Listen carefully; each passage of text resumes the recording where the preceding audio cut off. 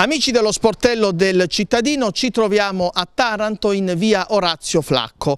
Abbiamo eh, raccolto la eh, denuncia, la rabbia, lo sconforto di un, eh, di, un, di un, cittadino, di una persona che eh, ha un'attività eh, commerciale, eh, il quale denuncia appunto il barbaro modo in cui sono stati realizzati i marciapiedi. Ehm, il marciapiede è stato ripavimentato, però evidentemente eh, non, è stato, non, è stato, adeguatamente livellato, eh, motivo per il quale quando piove l'acqua entra nell'esercizio commerciale, nell'attività. Nello specifico stiamo parlando di una, eh, di una carrozzeria, di un'auto officina.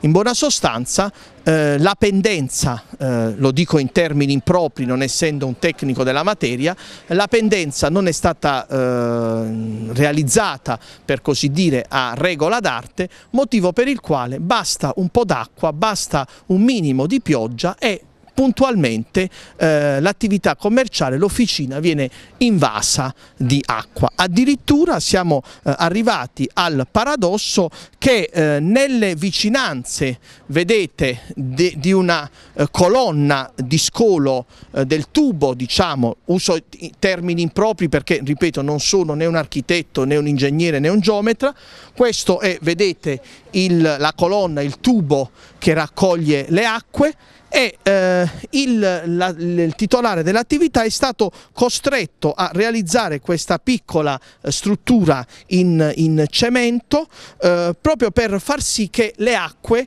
eh, come dire, venissero bloccate, venissero arginate e invece non defluissero proprio all'interno del eh, della sua officina, della sua attività eh, commerciale. Ha dovuto ingegnarsi con i propri mezzi per evitare questo scempio.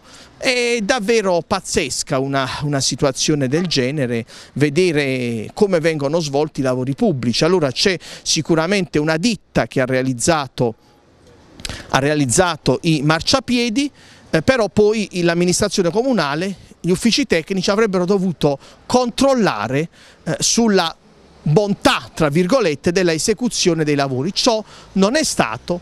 Per la cronaca i eh, lavori sono stati eh, eseguiti verso febbraio-marzo di quest'anno del 2016. A questo punto mi rivolgo all'assessore ai lavori pubblici, nonché vice sindaco eh, Lucio Lonuce, il quale si dichiara sempre attento, dice lui, di essere sempre attento alle, eh, alle problematiche relative alla esecuzione, alla realizzazione dei lavori pubblici. Beh, Mm, Lonuce, vogliamo dare lei risposte su questo scempio perché vedete molti cittadini magari pensano di stare a Venezia, ma non per le bellezze di Venezia, ma purtroppo ritorna in, men in mente la laguna quando si verifica, quando c'è l'acqua alta.